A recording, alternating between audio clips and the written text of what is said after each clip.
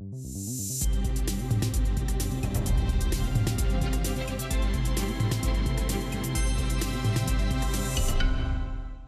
Bonsoir, quelques flocons se sont invités ce matin dans le nord-est du pays et il en tombe encore ce soir dans le nord du territoire. Ça va d'ailleurs continuer la nuit prochaine et on va retrouver demain matin une zone instable des régions centrales jusqu'au nord-est et à la Belgique. Attention, ce seront de petites chutes de neige vers les frontières du nord où on pourrait avoir un petit saupoudrage localement 1 voire 2 cm en particulier vers les Ardennes. Ce sera plutôt de la pluie entre l'est de la Lorraine et l'Auvergne et puis peut-être un peu de neige également sur le nord de la Bourgogne et sur le sud de la région centre. Vous compterez aussi sur des flocons euh, pour le nord de la Bretagne et pour les départements côtiers euh, de la Normandie, avec là aussi peut-être un saupoudrage localisé euh, dans l'intérieur des terres. Ailleurs, un ciel variable, plus lumineux pour les pays de la Loire et pour le sud-ouest, et toujours des entrées maritimes vers les Cévennes. L'après-midi, un temps toujours bien gris attendu dans le nord-est, avec des précipitations essentiellement sous forme pluvieuse. On retrouvera quelques petits flocons vers l'extrême nord et vers la Belgique. Dans le nord-ouest, un ciel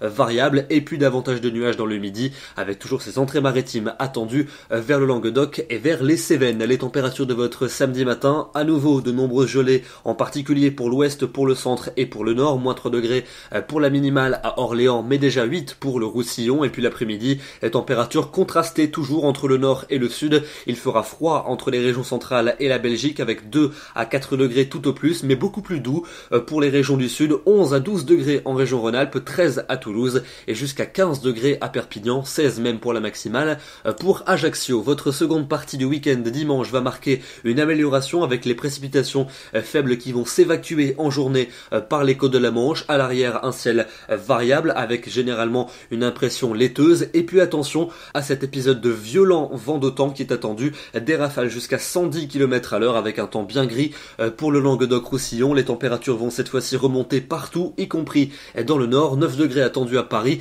et regardez entre 15 et 17 degrés dans les régions du sud. Pour lundi, amélioration pour les régions du nord et de l'est avec un soleil généreux. En revanche, nuages abondants prévus de l'arc océanique jusqu'au golfe du Lion accompagnés de pluie ou d'averses et toujours le vent de temps tempétueux qui va souffler des rafales de 100 à 110 km à l'heure. Soyez vigilants. Et puis pour les températures, grande douceur attendue pour votre lundi. Valeur printanière pour l'ouest, le centre et le sud. 13 degrés en Bretagne, 17 degrés à Limoges.